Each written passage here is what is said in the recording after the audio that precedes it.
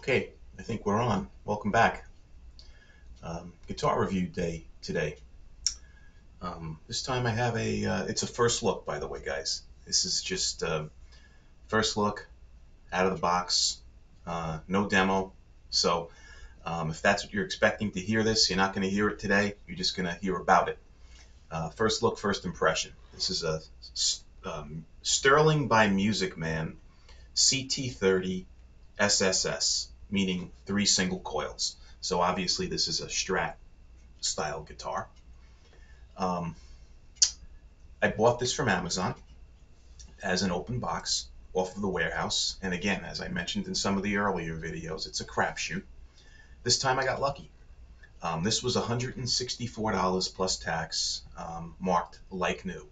And it was pretty much in like new condition when I got it, albeit the frets, uh, the fret ends on this thing were like razor blades, really, really sharp. So this thing was laying around for a while before they uh, they sold it on the warehouse.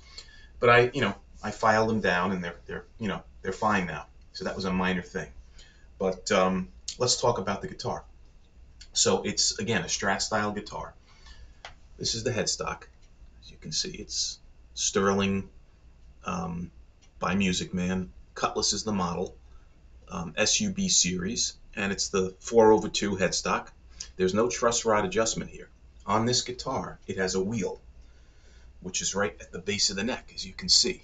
And I love that about this guitar, actually, versus a you know a typical Strat. It's a lot more easy to access, and it works great in terms of you know um, both directions, bidirectional truss rod adjustment. Um, so that's really nice. It has a maple uh, fretboard and maple neck, satin finish, matte satin finish, which is also very nice. The neck has a 12 inch radius, so it's somewhat flat, flatter than a 9.5 inch radius that's on a typical Strat guitar. But it does have a bit of a girth to it. Um, it's not as thin as an Affinity or a Squier Affinity or a, definitely a Classic Vibe or anything like that. This has a little bit more girth. Um, if that's what you're looking for, you're going to love it. If you want a thinner neck, um, you may not like it. But that's the, uh, the, the, situation here. It's a C-style neck, um, C-shaped neck, but it does have a little bit of, um, you know, thickness to it. Not super, but more so than a typical Strat. Um, 22 uh, narrow frets on this guitar. Um, it is a 25 and a half inch scale, consistent with a Strat. The tuners on here are okay. They're Sterling tuners, sealed tuners. They work fine. This guitar is an import. It was made in Indonesia. This is um, Daphne Blue. And again, I don't know how well this color is coming through on the video, but it is a very pale blue, uh, Daphne Blue. It also comes in Charcoal Frost and Fiesta Red. The tremolo system on here is a basic tremolo. It's a fulcrum tremolo system, very good as tremolos go, bass tremolos go. It's fairly stable. I don't use a tremolo bar, so I'm not a big tremolo user, but it's fine. The saddle and the the the, the um, bridge on here rather is a great um, you know sturdy bridge.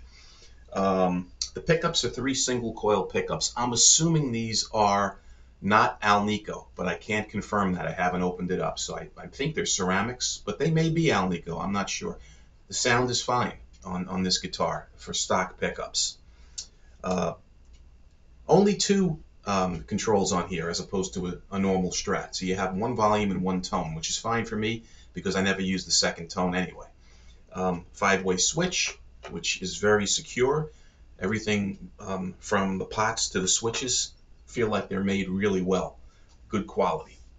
Um, again, the, the plate at the neck um, uh, is, is a five screw neck plate with sterling embossed on it, which is a nice little touch. I like the rounded base of the neck here as well. It's very good access to the upper frets on the guitar. Um, the nut on the guitar is uh, a basic plastic nut. You can see here, but it's made well, cut well. Um, out of the box, string action was fine, intonation was fine. Again, my only complaint was that the, the fret ends were razor sharp. But again, it's because it was probably sitting around for a while. But I filed them down and they're fine. Guys, this time for an Amazon warehouse purchase, I lucked out, okay? You have good breaks and bad breaks at Amazon. This time for $164 plus tax for this guitar, which is normally $350, $349.99. Great deal. And um, I really like the guitar. Uh, I think it's it's a good quality Strat style guitar, um, on par with a classic vibe, I would say, in terms of the Squier line, um, quality wise, and uh, um, really really nice guitar. So, um, any questions that you have uh, regarding this as a first impression that I just mentioned, please fire them below. I'll do my best to answer them as quickly as possible. I'll have another video coming where I'll plug the guitar in and play it.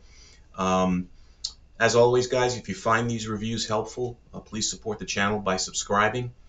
And uh, until until the next time, guys, be well and stay safe. Take care.